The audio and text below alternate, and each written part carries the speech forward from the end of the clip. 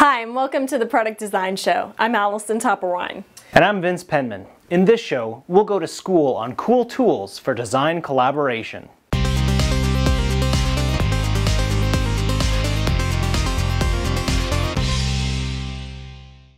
In the last show, we saw the benefits of collaborating with vendors in the concept design phase of your product development. As opposed to the collaboration I have with my coffee vendor on the production of my low-fat, low-foam, extra-hot soy mochaccino. Did I say extra hot? Well, in the engineering world, one way to collaborate is to share and discuss actual models.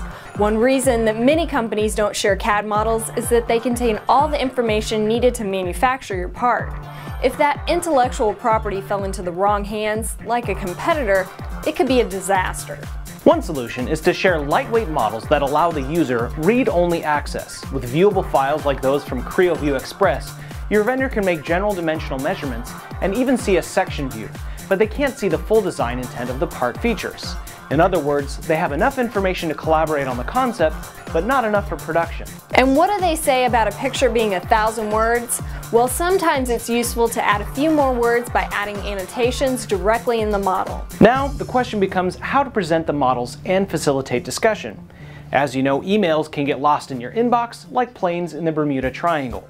One solution to keeping everyone on the latest revision is to have a central database where the whole team can get all of the latest product information and document their feedback. Some common collaboration platforms include Microsoft SharePoint, PTC Windchill, or Lotus Notes Team Room.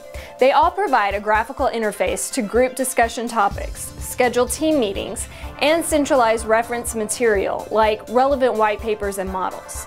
This allows for maximum collaboration as team members will have access to all files.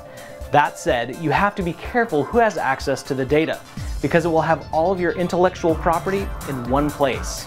To get some tips on communicating design information to external people, we spoke with Noah McNeely, President and CEO of Slingshot Product Development Group, a product development firm located in Georgia.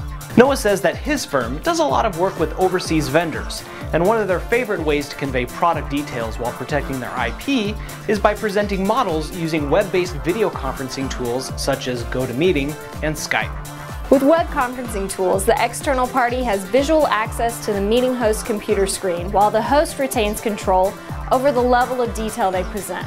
Noah says that not only does this feature protect their product design information, but also it's reduced their need to travel by close to 50%. If you'd like to download a free copy of the Creo View Express, an e-drawing viewer like the one described in this episode, go to ptc.com slash products slash Creo slash view slash express. And if you like the show, please give it a like on Facebook, subscribe on YouTube, or give us a rating on iTunes. We'll see you next week for more great design engineering.